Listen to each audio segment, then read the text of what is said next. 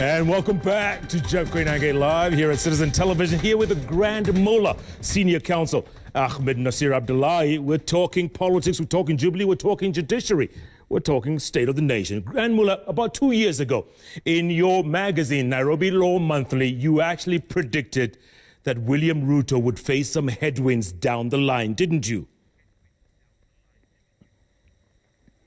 I, well, I didn't write the article, but I remember, I mean, there was a story to that effect, yes. You published it, Grand Mullah. You must know about it. No, no, I know about it. I'm not denying. Okay, so if it wasn't Ruto, which who was the choice going forward, who do you think it would be? You know, I, I don't think anybody can predict that. I don't think even the president himself has any idea. I mean, you see, that uh, nobody can decide for. Um, you hear a lot of nonsense about guys saying there's something called system or there's deep state. I mean, those those guys don't elect the president or our politicians. Our president, our deputy, and our politicians are elected by the Kenyan voters when they go to the polls. And this election, like any other election, will be about numbers. Who has the numbers? Who has the means? Who has the resources? Who has the coalition that can win this election? That is what wins you elections. So, I mean, the president may be against you, the president may be for you. That may be a small factor, but it's not the decisive factor. It is who has the votes, who has the numbers. Yeah, but someone once said it's not those who vote that count, it's those who count the votes. No, that, that quote is uh, attributed to Vladimir Lenin when he was leading the Bolshevik Revolution. I mean, that guy has never participated in an election, so that's a fake quote. It's a fake quotation. All right, let's switch gears, Grand Mullah. Let's talk about the courts. A lot of lawyers are pressuring for courts to reopen during this time of COVID 19. Today alone, 66 cases. We've crossed the 1,000 mark of positive cases. Is this the time to open up anytime soon? And I think, frankly, the Chief Justice has shown complete failure of leadership. I mean, I mean, he, did, he wasn't a great manager in the first place, but uh, the way he managed the courts during this crisis just showed his ineptitude, ineptitude, in my view. I mean, he should have put a better way of handling this. I mean, courts play a very important role. Lawyers and the legal sector employ thousands of Kenyans, tens of thousands. I mean, lawyers, when you close the courts, I mean, lawyers can't pay fees. I mean, I mean, lawyers are not, we are not known for having great savings in the banks. I mean, lawyers make money, but they don't save a lot. So there's a lot of crisis. I mean, how do you pay your lawyers? How do you pay your other workers? I mean, there are about, you know, 80 to 100,000 Kenyans who work for lawyers. If you look at, you know, the clerks, the court clerks, the lawyers, all this. And then you just shut down the courts for all this time. Okay, I know they have mitigated in a way, you know, this uh, Zoom hearing and Skype hearing but that's not, I mean, we need, a, we, need, we need a better way to address this system and quickly, in my view.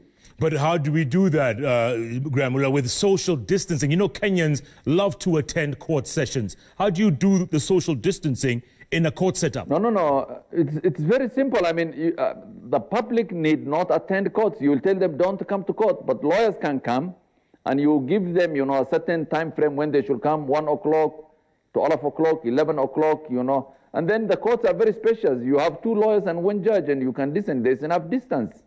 I mean, it can be done. I mean, but you know, just shutting the courts and uh, throwing the keys away like the CJ has done is completely responsible. Yeah, but there's some critics who say, you know what? The lawyers are now broke because they're not going to court. That's why they're pressuring to go back to court because they need, they're doing it of course, commercial I mean, that is the truth. There, there's nothing wrong with lawyers being broke because the courts are closed. Of course, we are broke because the courts are closed. Okay, so go. I mean, look at the backlog of cases right now. How long is it going to take? For instance, if let's say I had a hearing in March, that's been cancelled. I don't know when that hearing is going to be. What happens to the backlog of cases like that one? Okay, you know, uh, I think let me take you back a little bit. I mean, we had a huge problem in this country because the president has refused to swear, you know, the 41 judges uh, there was backlog because of that. The courts are understaffed because the president has refused, you know, to swear these judges. We already had that problem, but now this, uh, the COVID-19 has compounded the issues. Cases have been postponed. Okay, uh, give there are some courts that are here. The Court of Appeal hears cases uh, in a fairly acceptable manner. I've done one or two cases myself. I'm doing some others uh, in the next uh, coming few days. But uh, the judiciary is at a breaking point because of you know this crisis and the refusal by the president to swear the 41 judges, and that's just unfortunate. Look, um, Justice Jackton Ojwang retired earlier this year. The CJ will be retiring next year. Should he have gone sooner? Yes, uh, yes, yes, that's true. Yes, yes. There, there, are two vacancies that will arise in the Supreme Court in this year the Chief Justice and that one of Justice Ojwang. Yes. So, look, what's going to happen next? I mean, it's going to throw things further into turmoil coming into an election year. No, I think I mean the JSC will uh, pick the will you know the JSC will recruit for those two positions, and uh, I think uh, they will do the normal process, advertise, then uh, they will pick two guys or two ladies of their choice, and uh, that will be over. Is there friction between, the other day there was a headline of friction between selection of some senior counsels to be brought on board, and that, that was quickly rejected. What is the tension? No, no, no. You know, we, are, we have a bar called the Senior Counsel Bar. It's a very small bar. We, uh, we want to expand it so that we have more lawyers. Uh, today I had the privilege of being uh, elected chairman of the, of the Senior counsel uh, Bar. So I think we will recruit more lawyers to join the bar, and they are very good lawyers who deserve that position. So I think that's something we will resolve uh, in the next uh, few weeks. There were some names that were proposed the other day and then quickly rejected. Why? No, not, not rejected. I think my friend Donald went to court because uh, he was of the view that the process was, uh, the, the, the, the, proper process was not followed. The matter is in court, but I think that's something that we can resolve uh, and we move forward so that uh, uh, we admit more lawyers uh, into the senior counsel bar, which, and there are many lawyers, very good lawyers, you know, who deserve to be in the senior counsel bar. Mm. What would you like to see in the next Chief Justice, Grand Mullah? You know, I mean, I mean, this position is very important, you know, both for the courts, for the country. We need a good Chief Justice. We don't want to, we need someone with a spine. That's very important. But also we need someone with integrity, someone with the right intellect, someone, uh, I mean, I mean, unfortunately, the last four or five years, the Supreme Court of Kenya died, uh, as some of us feared, completely died, you know, engulfed by corruption, engulfed by incompetence. I mean, I was I mean, I was the architect of the first Supreme Court of Kenya when I was in the JSC, and like many Kenyans, we had great vision. We had great hope. Um, but unfortunately, that court, you know, I mean, in the last five years, I mean, it has become the most useless court in the country. It has betrayed the hope of Kenya. It has uh, done nothing in terms of uh, developing the law. It has done nothing in terms of resolving the dispute that divides the country. It has done nothing in terms of standing for, for integrity and decency. So the next Chief Justice will, has, will have a huge job to do in terms of, even before he comes to clean the judiciary, I think the next Chief Justice's biggest task is to how to save the, the Supreme Court. And I think the best way to save the Supreme Court is it needs a complete overhaul, it needs a reconstitution, it needs uh, some entrenchment here and there. But that's for the next Chief Justice, whoever it is. Um, would the Grand Mullah be interested in a position such as that? I've said many times, and I think I will. I'm not interested in those things. I mean, uh, the Supreme Court of Kenya, as it is today, is not a worth. It's not worth my time or worth the time of any decent person. It needs a lot. I mean, you have to start afresh, and you need to have a lot of energy. You need to have a lot of goodwill. Uh, it's not an easy task, but I'm not interested. But in the event, I, I want to be on Jeff once in a while, so okay. In the event that there was another presidential election petition come 2022, you see, the players, the chips have to be in place the election of a Chief Justice and a Supreme Court Justice. Yes, I think they will be there by then. I mean, uh, I don't know why, what the I don't know what the JSC is waiting for. They can recruit the position for uh, left vacant by Ojwang. because that position is vacant, uh, they can start that process and fill it within two, three months. But I think the Chief Justice is something they will do within uh, the first half of next year. So by the time, you know, we go to elections in 2022, I think the court will be fully constituted. I've got two questions from Professor, your good friend, Professor Makau Mutua. Are you ready? Absolutely. One, do you finally agree with him that Jubilee was a house built on sand? No, no, no, no. I mean, Jubilee was built on sound foundation. You know, it was a party of the people for the people. It was a very popular party. It won two elections decisively. His candidate lost those two elections badly. He knows. And uh, I mean, Jubilee was built on sound principles and sound policies. That now it is, it is engulfed in this turmoil does not mean anything in terms of its foundation and history. His, this second question was, and I'll say it in his accent, why are you unhappy with former Prime Minister working with Mr. Kenyatta? I have no problem with that. I mean, uh, you see, I'm not the president Kenyatta. I'm not Raila. So why should I? Why should it bother me whether they work together or not? I mean, it's none of my business. I mean, it doesn't affect me in any way. But uh, they're working, in my view, as a lawyer, as a constitutional lawyer. They can work together politically. But, you know, these favors the president is bestowing on Raila, like he's a co-president, is not provided for in the constitution. Actually, it is an express breach of Article 130, 131, and 129 of the constitution, if you read it. And I'm sure Professor Makau has read it. He knows it. okay. There's some people who say... But I think... Oh, go on.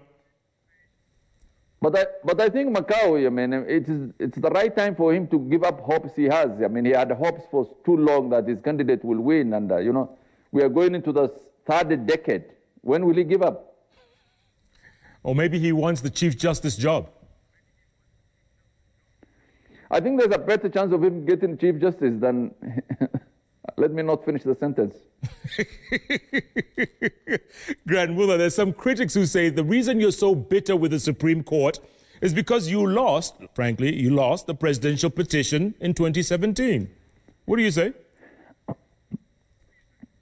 No, no, I argued, you know, I argued three cases in the Supreme Court. I won, I won two, I lost one, and uh, everybody knows why we lost that one. I mean, they just wanted to appease the gods, you know, not because our client uh, had a bad case. When you, when you, I mean, when, when you win with 1.5 million votes and you use, you know, forms that were forged, forms that were not part of the record, I mean, everybody knows history. I think, I think history will record very well how that decision was made. And that's not a decision the Supreme Court of Kenya is very, is very, is very, is very proud of. But I'm not bitter with that. I'm bitter with the court because of many other reasons. I mean, I've done cases where, you know, judges in the court have taken money to decide cases. I mean, and everybody knows. Uh, I've done cases in the court where judges were compromised. I have a lot of evidence on, uh, on the courts. I have, I have cases where they give uh, parties even fake judgment in advance. I, I, mean, there's a lot of things on the Supreme Court. I mean, if I start it now, I, it will take a lot of time for me to tell Kenyans what happens in that court. It's, it's a shameful place. It's shameful. Hmm. Grand Mullah, um, I was going to ask you this uh, before I was distracted by the Brookhouse case. Remember you, the, the, current ongoing Brookhouse case? They said it was brought up by one of the parents, and you know, Brookhouse is a bunch of rich kids, is it not? But who told you rich kids don't have rights? Po point huh? noted. point. okay. It's, go on, Every go on. person in Kenya has rights, whether you are rich, whether you are poor, whether you are white, whether you are black, whether you are this tribe. I mean, the, the right is a right provided for by the law. All right. Earlier on, I was asking you about people like Francis Atwoli, David Murathe, advising the president. W what is this about? No, you know, I mean, David is my friend. I have a lot of regard for him. I mean, if he advises the president, I have no problem. I mean, he has the right intellect, he has the right personality, he has the right, you know, he's a man of, I like him a lot. He's my friend. But, you know, but let me ask you, what advice can Atwoli give to the president, my foot? what Atwoli, Atwoli is barely literate. I don't think he has gone to, what, what advice can he give to a president? Eh? I know he's one of your good uh, customers when he comes to your show. But what advice can he give to president? Uh, may, I may, maybe crack jokes. Grand Mullah. Or let, throw telephones. Let, us face it, a lot of what he has predicted has come to pass. Let's face that, Grand Mullah. No, no, please don't insult the intelligence of Kenyans. Atwoli, Atwoli is a, I think he's the chairman of Kenya Horticultural something Workers Association. what has he done for workers? I mean, he has killed the trade unions. I mean, the trade union was a very important uh, players in Kenyan politics and Kenyan economy. Where has he, what has he done with the, with, with the labor union? He left that, and then he's throwing, I mean, he's running around, you know, peddling uh, rumors as advice, and uh, it's unfortunate, you know, that's, that is the tragedy of Kenyans. I mean, a trade union, unionist, instead of helping the workers in this country, is fighting William Ruto every day, is fighting other politicians, is addressing process. Why doesn't he perform his day job, mm. which is to better the lives of the, of the workers he represents? And you, you don't ask him that question when he comes to your show. Okay. Um, a very keen viewer is asking is there going to be a referendum this year? I mean, I don't like predicting, but if it comes, we'll see. If it doesn't come, we'll see. I mean, the country is broke. You don't have even money to pay basic wages of Kenya. Why do you want to have a referendum? and why do, you know, also, it doesn't make sense to change the law, especially when a president is leaving office. It doesn't show, it's not good faith in my view. Yeah, Here's another question, Grand Mullah. What is your philosophy on right and wrong, good and bad? You seem to be such a good lawyer that you come across as neutral on good and bad. Common sense. What I mean, I mean, my, my sense of what's good and bad is what you know Jeff will find bad or good, or what an ordinary Kenyan will find bad and good. Just common sense, you know. The average Kenyan, I'm an average Kenyan in terms of what's good, what's bad, what's right, what's wrong. Yeah, but common sense is not that common, huh? Maybe in Kenya, but.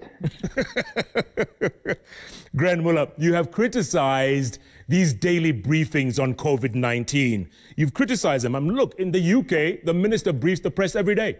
In the US, same thing. Why do you criticize uh, the daily briefings about COVID here?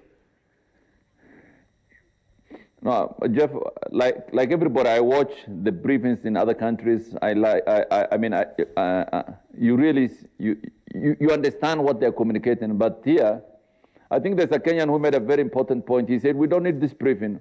Why don't they send an SMS telling us the number of guys who tested positive per day? Because that's the only thing they say. I mean, from day one to, day, to, to today, it's either 10 or 15 or 20. Nowadays, they are 40 or 50. But that's what they tell us. I mean, that's rubbish. I mean, that's, they can do that through an SMS. They don't have to appear on TV. And uh, I mean, look at, uh, we, we, are now struggling with this uh, virus, how many days? About two, three, two and a half months? Yep, about. We have tested 40,000. I mean, it's a, it's a joke, really. It's a joke. I mean, I, I said this before and I repeat, insofar as this virus is concerned, we're in God's hand. I don't think the government is doing much. Uh, so you don't like the additional measures? No, no, no. The, the additional, actually, the additional measures make sense because they mitigate the issue. I mean, it's, you know, when you have this curfew, when you have this partial lockdown in certain parts of the country, I think that's a very helpful strategy. What I raise question is, you know, these senseless numbers, you know, unscientific numbers, where we are told, you know, five or ten people have tested positive. We don't know under what circumstance. We are not being told why they can't do testing in with reasonable figures or numbers. I mean, there's a lot of, I mean, I think the I think uh, the the minister is very disappointing, very disappointing.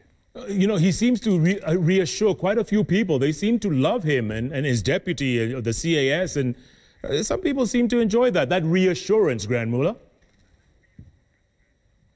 No, no. It, it, the first days, I mean, even me, I was very reassured. I liked it the first days, but you know, when you repeat the same diet for six for 60 days, the same thing, you tell me the same things that five people tested positive. There's nothing else. You, I mean, it gets boring. All right. Another viewer wants to know: Is there going to be, or what's the future of the BBI? You know, those are those are useless things. I've said many times. You know, it's a waste of time. You know, those are lullabies politicians play for Kenyans to soothe them, to make them forget the problems we are facing. It's completely unnecessary. I mean, it is a show game uh, you know, played by the president and his uh, and uh, Honorable Raila. But it's it's for them, you know. I mean, they have the cards; they do what they want. But when you look at, you know, when you look at the problems facing this country, you know, the economic difficulties the common man faces, you know, the absence of the rule of law, you know, the all these issues. Then you won't tell us, you know, that my priority is BBI, I want to expand the legislature. I want to increase 150 MPs. I mean, what sense does that make, surely? I mean, it's bull crap. Grand Mullah tweets are coming in thick and fast. Questions, I'm going to go straight to them if you don't mind. Keegan Koech is asking, did the Grand Mullah just insinuate that the position of Senate Majority Leader doesn't exist in the Constitution? I did not insinuate. If you look at the Constitution, the Constitution explains how the majority leader and minority leader is elected in the National Assembly. It doesn't say anything about the Senate. Okay, more tweets, more tweets coming in thick and fast. Let's see them. Uh, Wafula. Bob, is that your relative? Namiti says, DP's wing of Jubilee dared the president for a fight for the last three years. Let them face the heat now. Let them come out of the kitchen. Your thoughts? You know, that's a fight between those guys. I don't know. I, let's, let's see how it goes, you know. Uh, I think, I, I think we will have proper clarity in terms of, you know, Kenyan politics and the way it goes from next year. You know, when, from March 2021, that's the time we will really see the trajectory Kenyan politics is taking. You know what, Grand Mullah, and this is just an observation. I've never seen you, heard you say anything negative about the deputy president. You're always, you know, kind of there on the edge, just urging him on. You've never said anything, you've never uh, criticized him. But have you, have you seen me? I've never criticized the president because, I mean, both them, you know, uh, both the deputy president and the president were my client in the last presidential election. I have a lot of regard for them. I mean, uh, I like them, you know, I know them. Uh, I wish them well, both of them. I have no problem with them. Uh, of course, they are not saints, both of them, and I've said many times they have weaknesses like all of us. And uh, but I mean, uh, I haven't said bad things about Raila. If you read my tweets, have, I haven't said bad things about Mudavadi or Kalonzo. I don't say. You were critical of them before, though. All right. There's. Uh, I'm still critical. Uh, yeah. Okay. Uh, Team Waligo says lightning doesn't strike twice on the same point.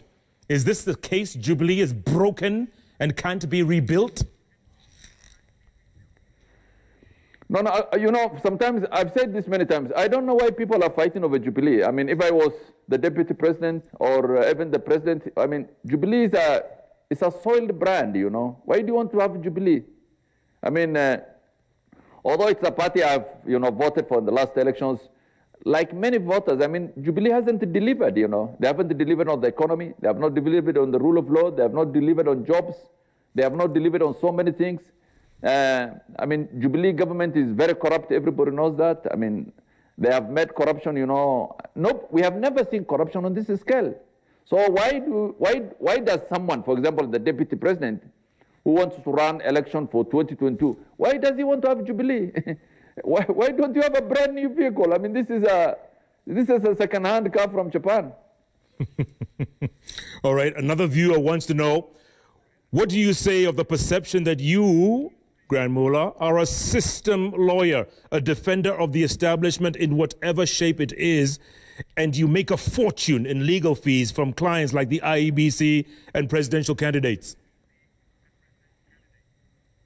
No, you know, those are, those are idle talkers, you know, guys who don't know me. I mean, I acted for IEBC once in 2013. That was all. Mm. I've never acted for IEBC again. It was a one case off. I've never acted for IEBC. I don't act for. I don't act for the system. Uh, you know, my friend uh, Donald Kipkorir makes this point that he acts for blue chip companies and he doesn't have walk-in clients. He's my good friend, so I can make this comparison. Mm. I don't act for banks, most of them. I think I act for maybe one or two. I don't act for state corporations. If I don't act for a state corporation, not a single one. I act for what I call the walk-in client. You know, the guy who walks in into my client with his food and say that, you know, there's a lawyer called Ahmed, I want to see him. Those are the kind of people I act for. I don't act for, I don't act for big corporations. I don't take pride that, that uh, my, I act for blue chip companies. I take pride that I act for Wanjiku hmm. or Patel or Ahmed. okay. Recently, you had on the cover of Nairobi Law Monthly DPP Noordin Haji and DCI Kinoti. Your thoughts about those two offices and officers? You know, I mean, it's an unfortunate thing. I mean, I think they were doing too well. I mean, both of them were, I mean, Kinoti did really great job in terms of you know, when he took over the DCI in terms of, you know, how Muhoro mismanaged it so badly. And uh, Nuruddin also, you know, did amazing job. But I think we, they must always work on the obvious. Nuruddin has the powers to prosecute. He makes the decision. The pack stops with him. If he says, I'm not prosecuting X, that is the end of it. Uh, Kinoti Actually, you know, the Constitution does not even refer to the Office of Kinoti. The, the Constitution refers to the IG, the Inspector General. Haji is supposed to deal with the Inspector General, not with the DCI. Because when he is addressing, you know, the police, he is supposed to address the Inspector General. So the Inspector General is a policeman. He investigates, he, he, he compiles evidence, then he gives to DCI. If DCI throws him on his face, I mean, he should pick it, dust it off, and go and do a better job. If the DPP says that this is a good case, I will prosecute, that's the end of the story. So, you know, this, I mean, you know, when, when you hear that there is a, there's a tussle between the two, it is unheard of in a democracy, completely unheard of. Because the DPP is a very powerful constitutional office when it comes to the justice sector. The Inspector General of the DCI works under the command of the DPP. But you know, Kenya is, you know, there's power grids, you know. There are some people who are connected to powerful power grids, and some people are not connected to powerful power grids. So that sometimes elevates your office higher than what is it in law. Hmm. Another viewer wants to know why were Philip Murgor and Martha Karua excluded from the senior counsel? I was not in that uh, committee that decided. I mean, uh, I have a lot of regard for both of them. I mean, Martha is an amazing lady. Everybody knows, whether it is in politics, whether uh, when she was Minister for Justice or Water, as a lawyer. I mean, she's, she's an amazing person. And I think, no, she wasn't actually excluded. She was included. Both of them were included, but they were caught up in this. But I think, as I told you, once we, we settle into this new job and we do the you know, the, ho- uh, the housekeeping. Those are issues we'll resolve. Okay, someone else wants to know give us an example of one Wanjiku or Ahmed you've represented. Oh, it will take some. I mean, I'll spend here the whole night if I give you that list. okay. Laboso Claire wants to know Will Kenya be able to support a referendum and an election in two years? With the current economic crisis? You see, I mean, uh, you see, the people who are push, the people who are pushing the referendum, you know, they don't care about the economy of this country. They don't know about you know, they don't know, they, they don't care how much money they will spend. And, you know, the relative, you know, value, I mean, they, they could have spent that 10 or 15 or 20 billion on something more important for the common man. But that doesn't matter for them. What matters for them is, I mean, this is a chess game. This is a game of politics. And they want to shape the politics of Kenya in the future. They don't give a damn about what Wanjiku will eat tomorrow. Okay, Emmanuel Kosgei says parties are very important institutions in promoting democracy. Instead of promoting them, we kill them here in Kenya. I think, uh, Jeff, there's a politician who said many years ago that parties in Kenya don't matter. He said they're like shots. I remove one today, I put another shot. I mean, parties are like that. So even when you see Jubilee imploding, I mean, don't, don't, shed, don't cry for Jubilee because tomorrow there will be Jubilee 201. The next day there will be Jubilee 301. So don't worry. I mean, parties are like shots. You remove a shot today, you put a shot tomorrow. I mean, there are 150 parties on the shelves, so you can buy any party. Uh, guess who's watching, Grand Mullah? Atwoli himself. He has a, something to say. He says, trade Yes, union is a pressure group and is supposed to act as an alternative to national guidance. And that's what COTU does. Poor guy. He doesn't know what he's talking about, does he?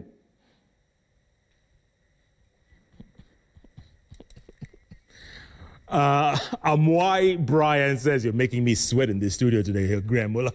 This party had a chance to solve their differences privately and chose not to. He's referring obviously to Jubilee. Instead, they chose for public display. And as usual, the public is treated to another political circus when we should be worrying about other issues, for example, COVID 19. You agree? Uh, you know, Jubilee, I mean, when you look at the, uh, you know, the, the implosion of Jubilee, if I say it, I mean, it's unfortunate because, you know, Jubilee has almost a, a com- uh, they have a, if you look at the majority in the National Assembly, uh, they have an overwhelming majority. Uh, they have a good majority in the Senate. So it's a party that can push any agenda it wants. Uh, that it has gone the way it, it is going, you know, it's difficult to understand because I think this, it has never happened in the history of Kenya for a president of a ruling party to sort of uh, disengage from his party or divide his party and form a coalition with other parties when he doesn't need. I mean, what do you need KANU for? For example, if I ask you, Jeff, what do you need KANU for? KANU is a one-man show. I mean, it's a one-man. I mean, it is a Nick Salat party. That's all, isn't it? what about Gideon Moi? Uh, Gideon, I mean, Gideon is there, but I mean, I think KANU belongs to Nick Salat, and everybody knows it's a one-person party. It's a Nick Salat's party, and uh, probably assisted by by, by Fadil. Didn't they say KANU ni baba na mama? Interesting times. okay, one more tweet. Mwema Alvin says the Jubilee Party members are playing the role of enemies in their own party. The big question is which side is losing, the ruling Jubilee Party or the opposition?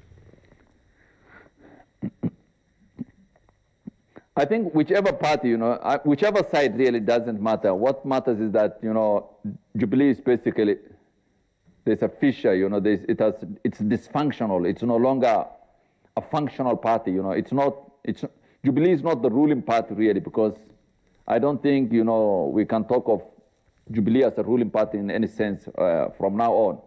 But I think the important thing is, you know, to never lose sight of, you know, the future. I think Kenya will move on. Uh, we, let's see what happens uh, until the end of this year in terms of politics, in terms of the economy. I mean, we are doing very badly in terms of economy. The country is almost ground to a halt. The country has no money. We are in debt. I mean, the good thing is, uh, I think, the, I think the good thing is that we can't borrow anymore. I think that's something that's good for Kenyans. We can't borrow anymore. I don't think anybody will lend us anymore. so hmm. that's a good thing. We just got 107 billion shillings today, Grand Mullah, and another 87 last week. Those are emergencies. Those are emergencies. For, these are, you know, to mitigate this virus.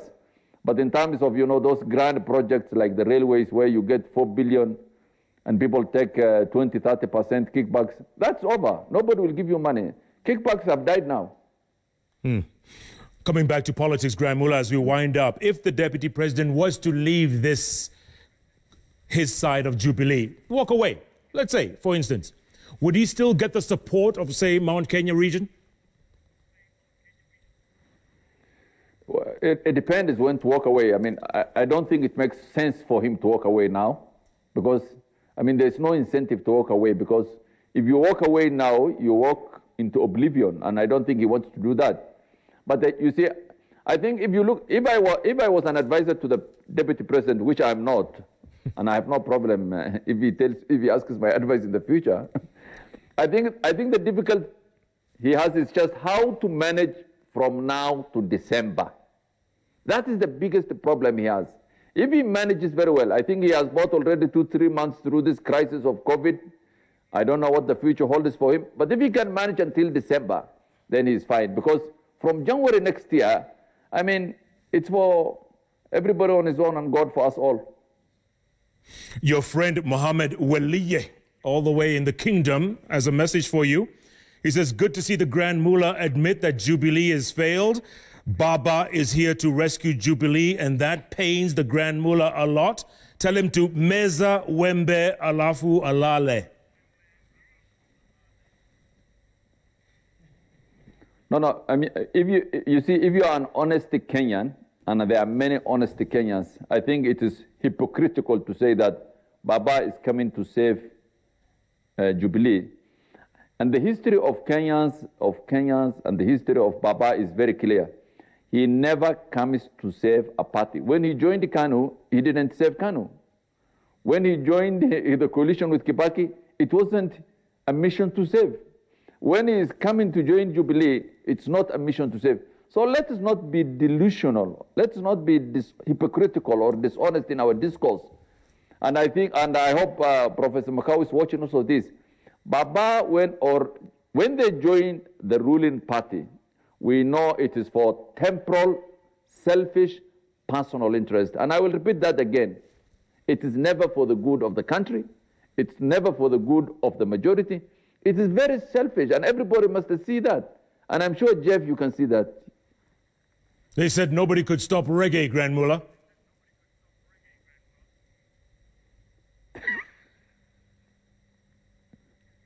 we'll see that.